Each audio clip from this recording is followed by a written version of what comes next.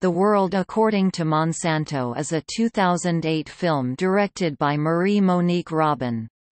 Originally released in French as Le Monde selon Monsanto, the film is based on Robin's three-year-long investigation into the corporate practices around the world of the United States multinational corporation, Monsanto.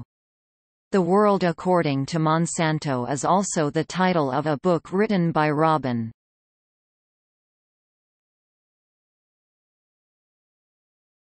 Topic. Synopsis The film reports many controversies surrounding the use and promotion of genetically modified seeds, polychlorinated biphenyls PCBs, Agent Orange, and bovine growth hormone.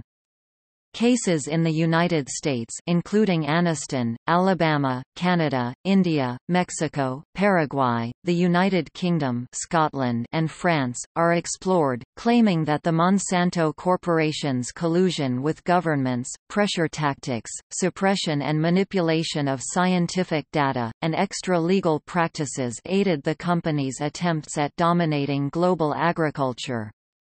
Scientists, representatives of the United States Food and Drug Administration and the United States Environmental Protection Agency, civil society representatives, victims of the company's activities, lawyers, and politicians are interviewed. In March 2008, French journalist Marie Monique Robin released the results of her three years of worldwide research into Monsanto. A book was published by La Découverte, a French editor, and a video documentary, Le Monde selon Monsanto The World According to Monsanto, was released on DVD and shown on Arte, the Franco-German culture TV channel. Robin travels to India, Mexico, Argentina, and Paraguay to see how Monsanto's genetically modified organisms GMOs have affected local farmers using it for their crops. The film claims that GMO use has increased suicide rates of farmers in India.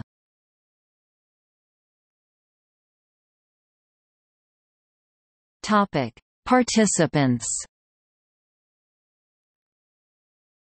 Film participants include David Baker, Ken Cook, Professor David Carpenter, Dan Glickman, James Maryanski, Jeffrey Smith, Michael Hansen, Jeremy Rifkin, Michael Taylor, Dr. Samuel Epstein, Shiv Chopra, Professor.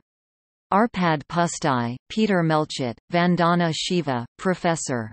Ignacio Chapela, Professor. Stanley Ewen, Segundino, Elena Alvarez Buylla, Aldo Gonzalez Morales, Jonathan Matthews, Roberto Franco, Professor. Robert Bellet, Richard Burroughs, Pete Hardin, Ray Mowling, Lisa Watson, Margaret Hayden, Stephen Druker, William Sanjour, Gerson Smoger, Professor. Ian Preem, Troy Roush, David Runyon, Kiran Sakari, Abdul Gayam, Kisha Tawari, Tarak Kate, and Jorge Galeano.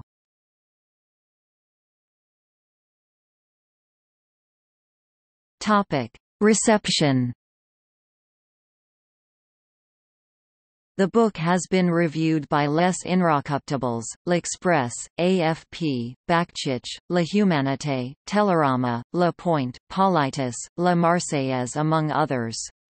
A review compares the book's impact to Rachel Carson's Silent Spring in raising awareness of the issues of Monsanto. La Recherche criticized the lack of a thorough examination of biotechnology in the book, but praised it as captivating and saying that it had a thriller style. The Toronto Star described the film as taking a scattershot approach criticized its use of boring footage showing the creator Googling for information, and notes that even though the documentary is available in English and available to the American public, Monsanto will probably not be constrained by them. The Globe and Mail described the film as a well-researched but stylistically flawed film, and criticized the use of footage showing Robin Googling. Le Monde described the film as an edifying documentary, and praised the diversity in testimonies presented in the film. A later review feels that the film was one-sided until the phone conversation where Monsanto declined to appear was shown. The film was projected in the National Assembly before a debate on GMOs by the initiative of the Greens Party and was described by Le Figaro as a long and meticulous indictment against GMOs. Saget d'une long et minutieux réquisitoire contre les OGM. Rue 89 described the film as paced like a thriller on public health, and compared it to the film Erin Brockovich but without the satisfying conclusion of that film.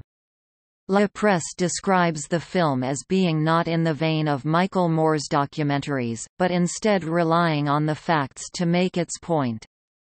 In its showing on March 11, 2008, it had 1,569,000 viewers. Marcel Kuntz denounced the film in an article published on the website of the French Association for Scientific Information (AFIS), describing the film as replete with pseudoscientific claims.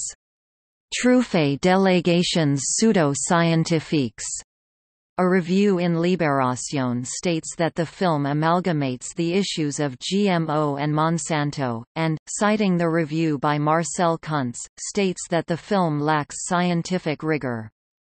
The author of the book and film, Marie Monique Robin, won the Rachel Carson Prize for her work on this project.